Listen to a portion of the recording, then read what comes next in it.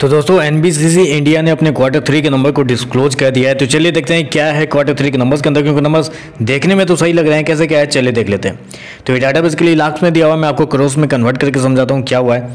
तो पिछले क्वार्टर की बात करें तो पिछले क्वार्टर में कंपनी का टोटल इनकम जो कंपनी ने रिवेन्यू के थ्रू ऑपरेशन के थ्रू जनरेट किया था, वो अगर देखा जाए तो अप्रोक्सीमेटली बोल सकते हैं दो हज़ार उनतीस करोड़ के आसपास था। पिछले साल की बात करें तो एक हज़ार नौ सौ पंचानवे करोड़ जबकि इस क्वार्टर में देखें तो कंपनी का रेवेन्यू बढ़ के दो हज़ार एक सौ पैंतीस करोड़ के आसपास आ चुका है। तो साल दर साल देखें तो साल दर साल बोल सकते हैं अप्रोक्सीमेटली सात परसेंट के आसपास की तेज़ी है कंपनी के रेवेन्यू के अंदर। वहीं अगर क्वार्टर क्वार्टर जाते हैं तो क्वार्टर क्वार्टर छः परसेंट के आसपास की तेज़ी आपको देखने को मिल रही तो कंपनी का रेवेन्यू देखें तो साल दर साल और क्वार्टर क्वार्टर छः और सात परसेंट के आसपास की तेज़ी आपको देखने को मिल रही चलिए कंपनी का एक्सपेंस देखते हैं। एक्सपेंस में कंपनी ने क्या खर्चा किया है? पिछले क्वार्टर की बात करें तो पिछले क्वार्टर में कंपनी का एक्सपेंस अगर देखा जाए ये रहा हमारे सामने।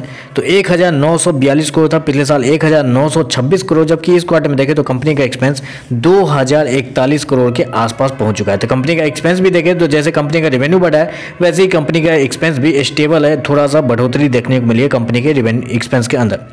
चलिए कंपनी का प्रॉफिट देख लेते हैं क्या बनता है, क्योंकि पिछले क्वार्टर में कंपनी ने थोड़ा सा दबाव वाले नंबर दिए थे, देख लेते हैं क्या है। तो देखिए, पिछले क्वार्टर में कंपनी का प्रॉफिट अगर देखा जाए तो कंपनी 97 करोड़ के प्रॉफिट में थी, पिछले साल 86 करोड़ का प्रॉफिट था, जबकि अभी देखें तो कंपनी का प्रॉफिट गिर के अप्रोक्सीमेटली बहत्तर करोड़ के आसपास आ चुका है। जी हाँ तो इस क्वार्टर में कंपनी का जो प्रॉफिट है, उसके अंदर अच्छी खासी गिरावट आपको देखने को मिल रही है। चलिए कंपनी मैं आपको इससे पहले का नंबर दिखाता हूँ, क्योंकि अगर आपको डाउट होगा कि नहीं नंबर्स तो अच्छे हैं नंबर्स अच्छे हैं, बिल्कुल अच्छे हैं, लेकिन क्या प्रॉब्लम हुआ है मैं आपको बताता हूँ। इस क्वार्टर में कंपनी को एक्सेप्शनल आइटम के थ्रू अप्रोक्सीमेटली पचपन करोड़ का लॉस लगाया। जी हाँ एक्सेप्शनल आइटम के थ्रू कंपनी को पचपन करोड़ का लॉस लगाया। अगर एक्सेप्शनल आइटम हटा के अगर आप नंबर देखना चाहें तो पिछले क्वार्टर में कंपनी का प्रॉफिट देखे एक करोड़ था, पिछले साल एक सौ सोलह करोड़, जबकि अभी एक सौ पचास करोड़ के आसपास कंपनी का प्रॉफिट है। तो साल दर साल क्वार्टर क्वार्टर बहुत भयंकर नंबर है प्रॉफिट के मामले में, लेकिन जस्ट बिकॉज़ कि कंपनी ने एक्सेप्शनल आइटम में पचपन करोड़ खर्च कर दिए हैं, उसकी वजह से कंपनी का जो प्रॉफिट है, उसके अंदर साल दर साल, अब क्वार्टर क्वार्टर नेट प्रॉफिट के अंदर अच्छी खासी गिरावट आपको देखने को मिली। तो नेट प्रॉफिट से क्या होता है? नेट प्रॉफिट के जब अंदर गिरावट आती है तो उससे एक प्रॉब्लम यह होती है कि सेंटीमेंट जो है वो हो जाता है नेगेटिव क्योंकि बहुत सारे लोग ये चीज़ नहीं देखते हैं एक्सेप्शनल नहीं देखते हैं, वो बस सेंटीमेंट देखते हैं कि हाँ कंपनी का नेट प्रॉफिट गिर गया है और वो बेच के भागना शुरू कर देते हैं। तो नेट प्रॉफिट की वजह से हो सकता है थोड़ी बहुत गिरावट भी अगर देखने को मिले तो मेरे हिसाब से वो गिरावट बाइंग अपॉर्चुनिटी होगा, क्योंकि शेयर ऑलरेडी नीचे के लेवल पर आपको मिल रहा है।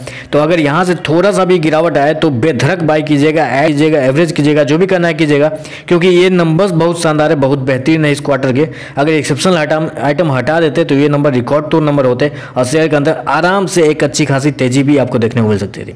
तो मेरे हिसाब से अगर शेयर के अंदर गिरावट आती है तो एक से दो दिन की गिरावट आएगी, लेकिन उसके बाद एक बड़ी रैली आपको देखने को मिल सकती थी क्योंकि नंबर्स बहुत शानदार इस क्वार्टर में कंपनी ने दिए हैं। तो बस आज के लिए बस इतना ही, वीडियो पसंद आया तो लाइक कीजिएगा, साथ में साथ चैनल को सब्सक्राइब ज़रूर कीजिएगा। धन्यवाद।